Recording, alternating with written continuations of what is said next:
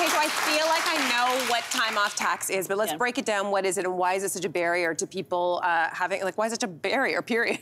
Well, you know, it's good that you asked because the ADP survey that was just done said that it's 20 hours extra that we need on the front end and the back end at work to actually take that week off. And so you're Just wait, pause there for a second. Yeah. So 20% more work on the front end and 20 the back hours. end. 20 more hours. 20 more hours. Sorry. So okay. two and a half work days. Yes, yeah, which Yeah. is a it's a lot, and so you're stressing uh, about all the stuff that you have to get done before, and then add that two and a half hours to the family planning and the management, which takes so much time.